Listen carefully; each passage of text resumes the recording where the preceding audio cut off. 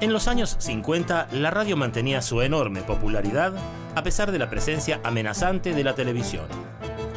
Una gran audiencia seguía fiel a aquel misterioso aparato que acompañaba los momentos más importantes de su vida. El impacto más grande de radio que tengo en mi vida, el sábado 26 de julio del año 1952, 7 8 y 25 de la tarde se casaba en Río Segundo mi tía Delmira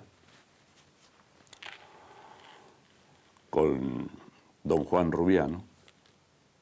Y estábamos todos los chicos, mis primos, de fiesta, imagínate un casamiento, gente grande. Y luego, eh, en un momento determinado de la fiesta, porque se, se hacían las fiestas de casamiento más temprano, de la tapia del lado gritan, che, apaguen la radio que se murió la Eva. Ese fue mi primer impacto con la radio. Cumple la Subsecretaría de Informaciones desde la Presidencia de la Nación el penosísimo deber de informar al pueblo de la República que a las 20.25 horas ha fallecido la señora Eva Perón, jefa espiritual de la Nación. Como oyente, un programa que yo recuerdo siempre, que se llamaba El Relámpago. Buenas noches, respetable público del Teatro Relámpago Federal. Y lo recuerdo por una razón muy, muy, muy, muy importante. Muere mi padre. Mi padre muere a los 46 años, mi madre tenía 40. Los lutos en el campo, no sé si aquí, eran muy largos. Las mujeres se vestían todas de negro, mi madre, medias negras, zapatos negros, traje negro, el velo, el sombrero, íbamos tres veces al cementerio por semana, la radio no se escuchaba por tres meses. Y había algo que horadaba mi vida y mi ánimo, que era la tristeza profundísima de mi madre. Ellos se amaban, se, se quisieron mucho, lo demostraban, eran felices, eran alegres, aún en medio de las necesidades cotidianas. Mi padre era músico, mi madre costurera. Mi madre no reía. Y para un chico, yo, yo tenía 11 años, era muy importante eso, que mi madre no riera, se me caía el mundo. Además, en medio de las necesidades que había dejado la muerte de mi padre. Y le digo, mamá, ¿podemos prender la radio? Eso me acuerdo. Eh, es, es una cosa que se quedó conmigo ese día. Se lo debo a la radio. Podemos prender la radio, ya son tres meses que murió papá. Dice, bueno, pongo la radio, había un programa, El Relámpago, conducía un animador muy bueno y trascendental que se llamaba Jaime Font Sarabia. Claro. Yo giro, estábamos en la cocina y mi madre estaba sonriendo. Eso fue para mí, no le puedo explicar, Enrique, lo importante que fue para mí, la bendición de luz que fue para mí, que mi madre volviera a sonreír. Fue levemente, fue un instante, pero supe que la vuelta a casa de la alegría era posible y que eso se lo debía a la radio. Eso contribuyó a robustecer una decisión de amar a la radio para siempre. Aquellos años marcaron la despedida de los elencos estables y de las orquestas de las grandes radios, pero todavía se podían escuchar algunos hitos como el Glostora Tango Club, la revista Dislocada y los Pérez García.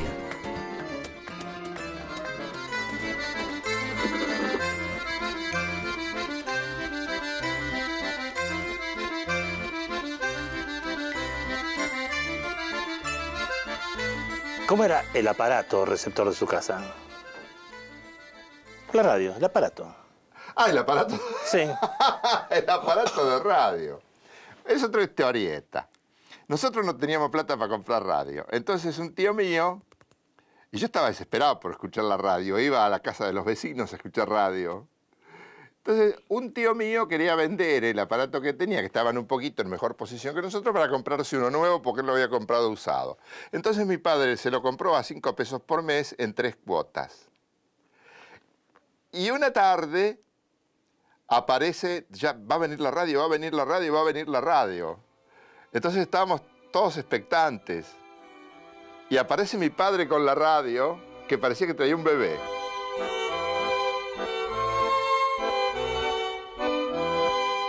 Y escuchábamos programas al mediodía, que no recuerdo exactamente cuáles eran, pero sí los de la noche, el famoso Glostora Tango Club, desde luego.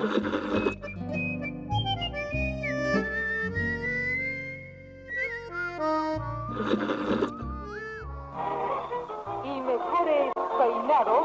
Glostora. Para más y mejores tangos. El Glostora Tango Club. Fiesta de la juventud triunfadora. Estaba en la escuela secundaria eh, haciendo bachillerato porque mi gran pasión era la medicina. Y un día fui a un estudio de radio para un programa de mm, eh, estudiantes secundarios, pues preguntas y respuestas, y con toda la división. Y algo mágico pasó en un estudio así fantástico, sobre todo en esa época en que tenían tanto peso las transmisiones en vivo, los locutores eran tan formales, eran grandes estrellas. Y este, no olvidemos que en Radio El Mundo los locutores iban de, de smoking y las mujeres de largo, bueno, más o menos así. Yo un poquito después llegué. Pero todavía era muy imponente el trabajo en los estudios de radio. Y bueno, aparecieron los locutores, entraron, al- se pararon frente al micrófono y yo sentí, viste, un clic interior que dije, yo voy a hacer eso, ay, cómo me gustó eso. Y a partir de ese momento salí del estudio y empecé a decirle a mis compañeras, yo voy a ser locutora, yo voy a ser locutora. Sí, sí. Sí, te escucho. Mélodie d'amour chante le cœur de Manuel. Los shows en vivo declinaban, pero el golpe de gracia lo asestó la dictadura de Juan Carlos Onganía. En 1967 impuso una ley de racionalización que prohibía esas presentaciones públicas en la radio. La música en vivo estuvo hasta entrada la década del 60. Decía que estuvo eh, hasta comienzos de la década del 60, últimos años de la década del 50, tanto en programas dedicados al bolero, como en programas dedicados al jazz, como a la música folclórica, como a la música ciudadana. El Glostora Tango Club, para poner un ejemplo, o el Teatro Relámpago Federal, para poner otro ejemplo, fueron eh, hitos en esto de poner al aire programas de música desde los auditorios de la radio con la asistencia del público en vivo y para una eh, propagación que a través de las cadenas radiofónicas alcanzaba buena parte del territorio argentino. Mi padre trabajaba en muchas orquestas y era un músico que por suerte tenía mucho trabajo. Digamos que el sueldo fijo, el trabajo de todos los días, era ser músico de la Orquesta Estable de Radio El Mundo. Era primer violinista de la Orquesta Estable de Radio El Mundo. Y eso era eh, un, un valor agregado importante porque era una radio muy prestigiosa y porque todos sus elencos en todos los órdenes eran, este, en este caso, músicos todos prestigiosos y de primerísimo nivel. Así que bueno, empecé a deambular por las radios y en la radio que trabajé primero, oh casualidad, fue Radio El Mundo, donde yo era la nena de Mancuso. Mirá, la piba de Mancuso, qué sé yo. Eh, claro, todos los locutores que estaban, eran, todos eran compañeros de mi papá. Y mm, aunque ya mi papá no estaba más en la radio, porque bueno, había un señor que fue secretario de medios en esa época, Federico Frischnet, que había declarado imprescindibles todas las orquestas y los elencos estables de todas las radios. Así es. El tema es uno de Raúl Porcheto. Hermoso tema. Algo de paz. En los 60, las grandes figuras de la radio se mudaron a la televisión. Fue el momento en que las emisoras se atrincheraron en el horario matutino con programas informales, espontáneos y con gran predominio de la noticia. y de esa década son Escalera la Fama, son el Thompson y Williams o el Modar en la Noche. Información y música, no solamente con Jorge Cacho Fontana, sino con los programas que en la mañana radiofónica van a seguir el modelo del Fontana Show. Va a ser, eh, va a ser deporte con otros ciclos que se van a sumar al original ciclo laboral deportiva que viene de la década de 1930 y va a ser la tarde radiofónica con un estilo de más eh, confidencialidad, de más coloquialidad, con eh, personajes como Hugo Guerrero Martínez, que en la segunda mitad de la década del 60 va a generar un nuevo estilo en el ámbito radiofónico. Esa competencia entre la radio y la televisión fue desventajosa en su primer momento para la radio, pero positiva, puesto que este repensar el lugar en el mundo que va a tener la radio le va a dar un sello que hasta la actualidad va a mantener. La información, la música, el deporte. La etapa todavía actual en donde la radio descubre la información al instante. Y eh, ayudado por elementos tecnológicos como el satélite, eh, digamos a partir de los 70, este, comienza a traernos lo que ocurre eh, aquí, en cualquier lado del mundo, al minuto o a los cinco minutos. Este, digo, me parece que en ese sentido la radio es insustituible todavía hoy y en algunos temas le gana por cinco minutos a la televisión. Hasta que la televisión llega con las cámaras, instala, prueba a ver si, si está bien. Bueno, con el celular ya le gana. Claro, claro. Con los nuevos elementos la, radio sigue primera. En el próximo bloque, los grandes programas de los años 60 y 70.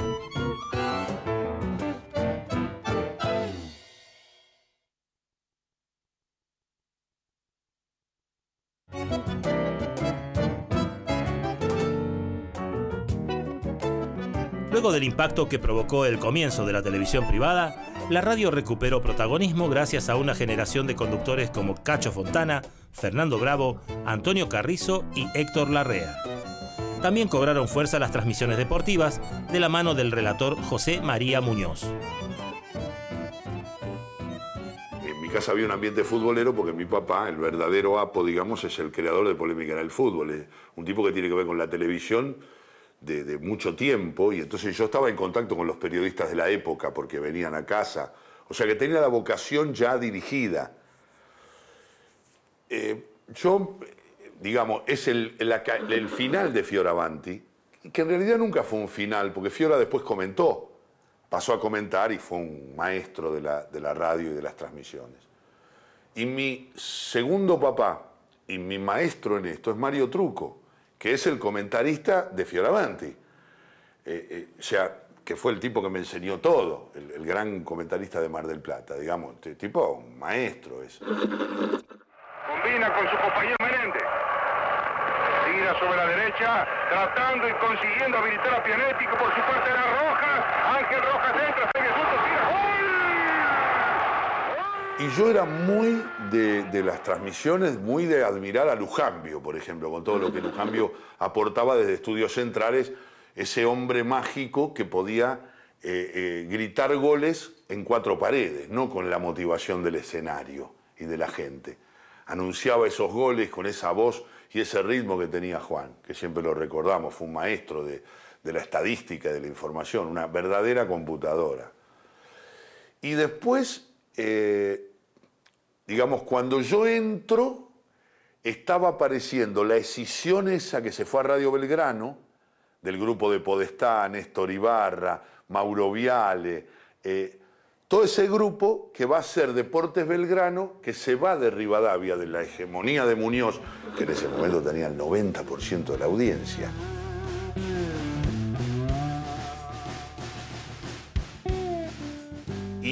Después estaban los, tipos que pudieron mostrar su capacidad. Ibarra es uno de ellos, Julio Ricardo es otro, eh, García Blanco es otro, Horacio, Julio César Calvo.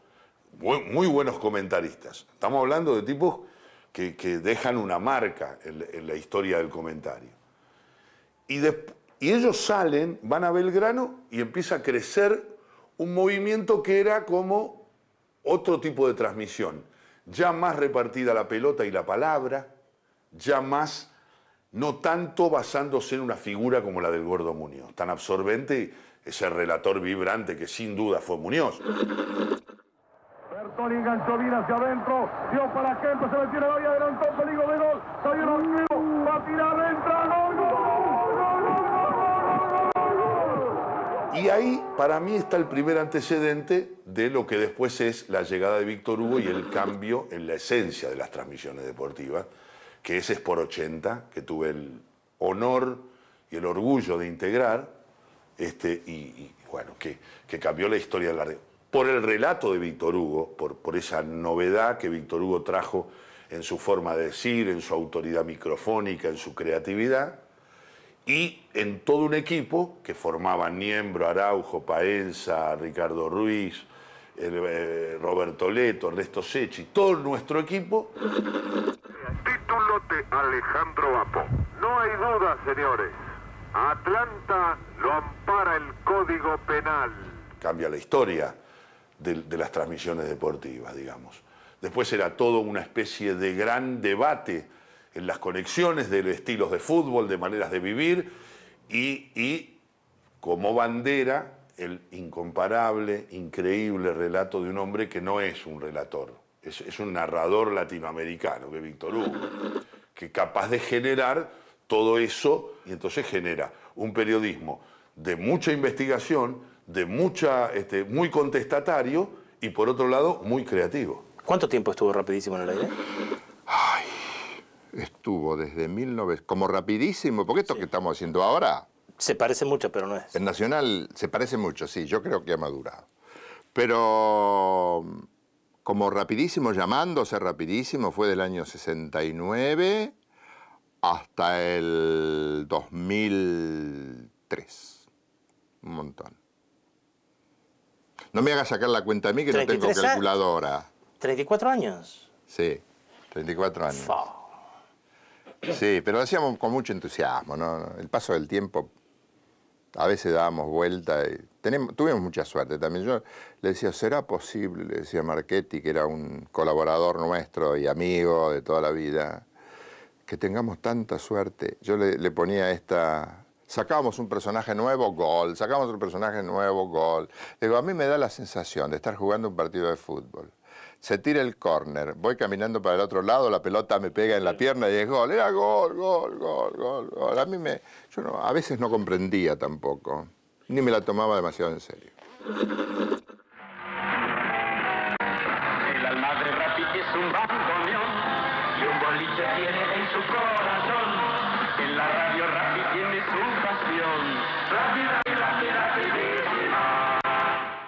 Serio, de pronto me dijo, ¿sabes? Resultaría difícil vivir actualmente sin sociólogos y psicólogos. Y siguió además.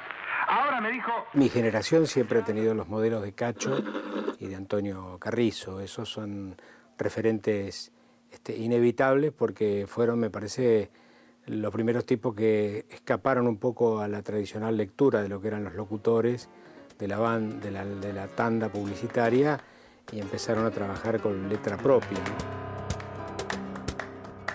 Aquella radio de los años 60 tenía espacio para las innovaciones de Hugo Guerrero Martínez en El Show del Minuto y la sensualidad de conductoras como Betty Elizalde en Siete Lunas. Eso fue lo que produjo eh, un impacto muy grande en la audiencia, porque se acostó a dormir con un estilo de radio y se despertó con otro.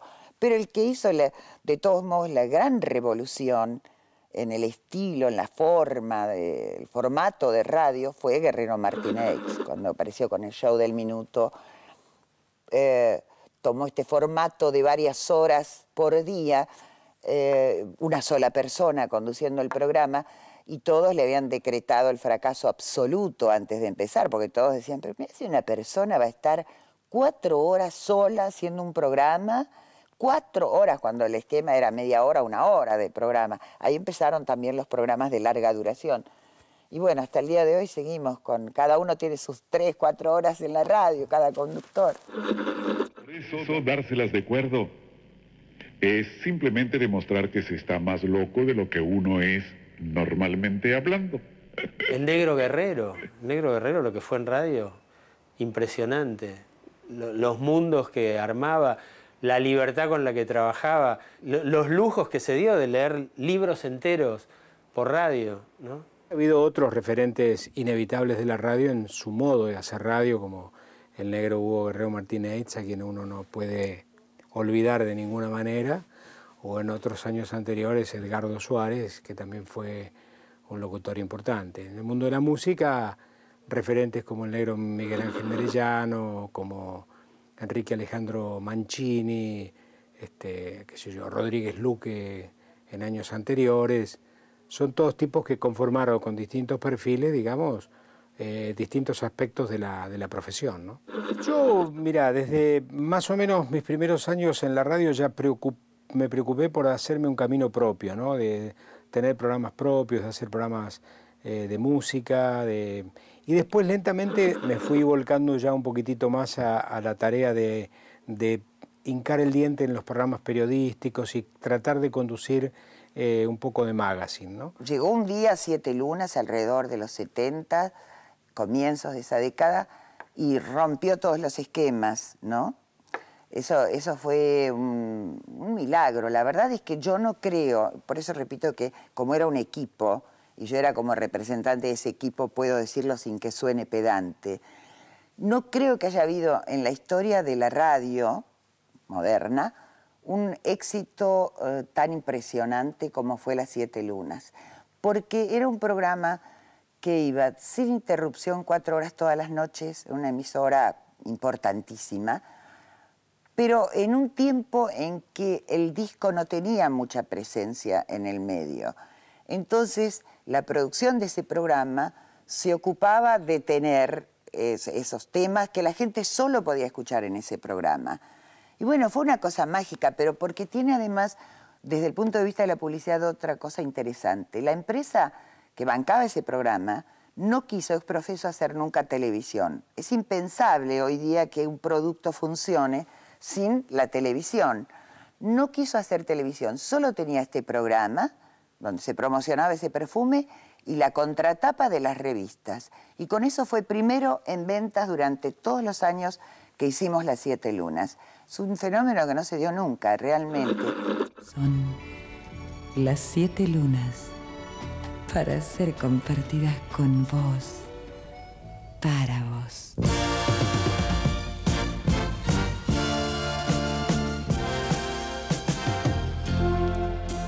La noche, la ternura, vos y ella. La dictadura de 1976 también golpeó a los que trabajaban en la radio. Pude revisar años en los que yo no vivía acá, como por ejemplo los años de la, de la dictadura, ¿no? Eh, digo, me asombró muchísimo eh, cómo también las radios habían sido repartidas de acuerdo a, los intereses de, la- de las respectivas armas, ¿no? Y cómo, por ejemplo, algún marino se la había agarrado, no solamente, digamos, había incorporado a las listas negras, grises o, de algún color a, a ciertas personas que no podían tener un lugar en ese momento en la radio, sino que se la había agarrado con eh, las grabaciones de Gardel con guitarra, porque a la mujer le parecían grasas, ¿no? Esas, grabaciones. A mí me levantó en directo un, un programa, El Golpe. Yo estaba haciendo Los Habitantes del Sonido con Luis Benito Zamora. Y entró alguien vestido de verde, viste, de uniforme, y me dijo, andate. Allá en Ayacucho. ¿Cómo? Que te vayas. ¿Que me vaya a dónde? Ya está, lo tuyo ya está. Ese fue el, el decreto verbal firmado más raro que me pasó en la vida. Andate. Sí. Bajaron las cortinas, apagaron las luces y pusieron la marcha de San Lorenzo. Esto me pasó.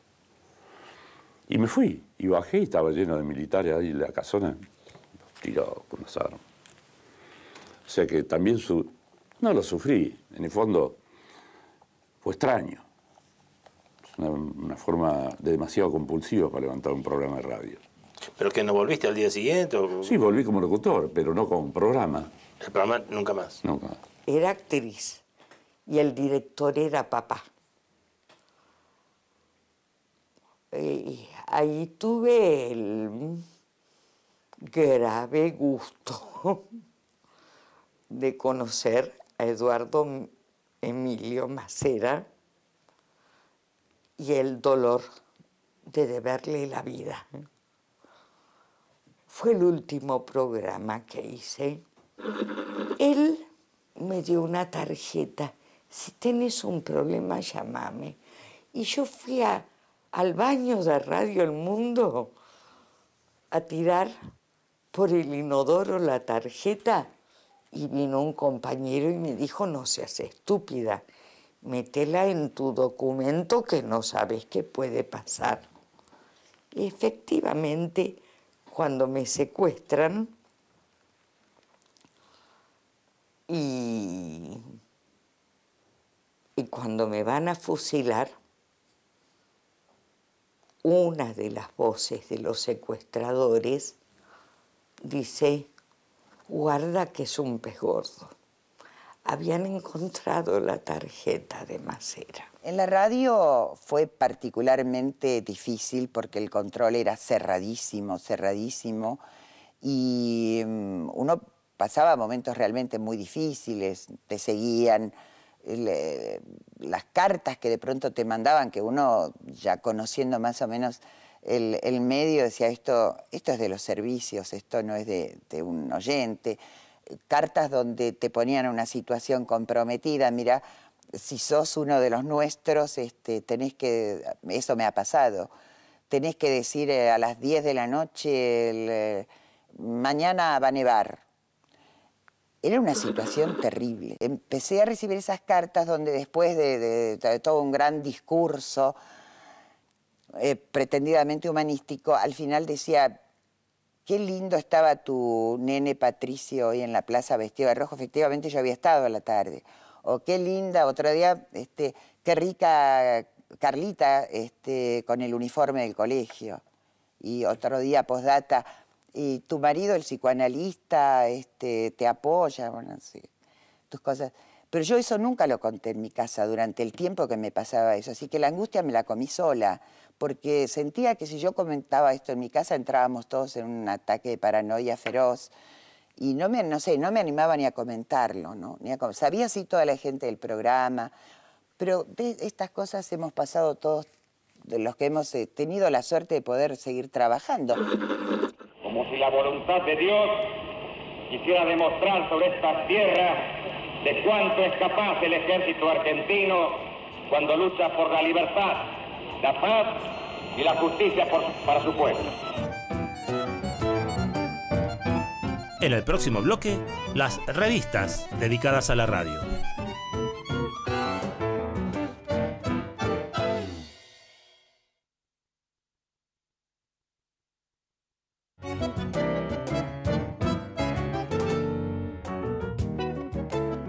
La vida de las estrellas de la radio y la televisión fue y es tema excluyente de algunos medios gráficos. La primera revista de Chimentos fue Radiolandia, de la editorial Julio Korn, aparecida en 1935. El mundo de la radio de la década del 40 era un mundo fabuloso, con cadenas, con programas que, que llegaban simultáneamente a todo el país. Estaban las tres grandes cadenas, la cadena de Radio Belgrano, la de Radio El Mundo y la de Radio Splendid, que además tenían emisoras por todo el país, tanto en el norte como en el sur.